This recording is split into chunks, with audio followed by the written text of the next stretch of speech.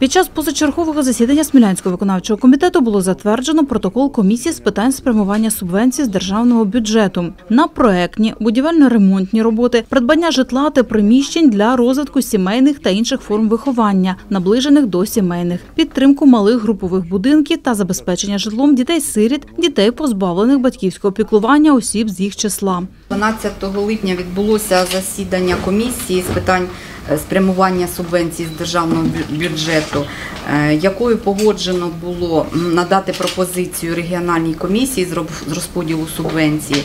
е, Просити грошову компенсацію у розмірі 24 мільйона 161 тисяча 945 гривень для 60 е, шести дітей-сиріт, дітей позбавлених батьківського піклування та осіб з їх числа, які е, перебувають на квартирному обліку у відділі обліку та приватизації житла і мають підстави на отримання цієї субвенції. Е, Дане рішення і даний протокол е, подається до регіональної комісії в область, і вона вже відповідно до черговості взяття на квартирний облік формує обласний список дітей, які мають право на отримання такої компенсації. І ми будемо чекати вже тоді рішення регіональної комісії, е, скільки осіб.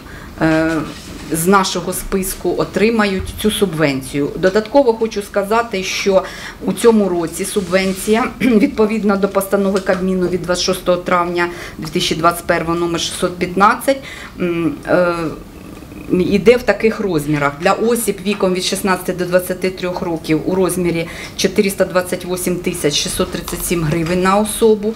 Якщо це особа з інвалідністю, то цей розмір буде е, 566 тисяч 907 гривень. Це 100% буде субвенція на грошову компенсацію. Якщо ця особа віком від 6 23 до 35 років, то субвенція їй виділяється у розмірі 70%, тобто у розмірі 300 тисяч е, 46 гривень.